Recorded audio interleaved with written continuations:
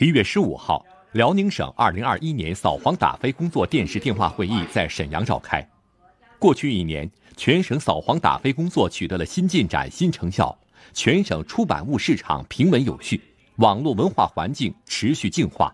据统计，全省各地各有关部门共清理检查文化经营场所和点位等五千七百余家次，收缴各类侵权盗版及非法出版物、印刷品、宣传品等四十二万余件。立案查办案值和社会影响较大的扫黄打非案件一百二十一件，抓捕收审犯罪嫌疑人一百一十二名，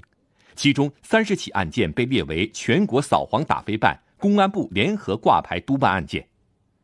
二零二一年扫黄打非工作要严格落实意识形态工作责任制，突出工作重点，深化净网、护苗、秋风等专项行动，持续正本清源，着力守正创新。坚决打击各类非法出版活动，扫除各类文化垃圾，切实净化社会文化环境，为辽宁全面振兴、全方位振兴营造良好舆论环境和文化氛围。会上还对2020年全省扫黄打非先进集体、先进个人进行了表彰。本台报道。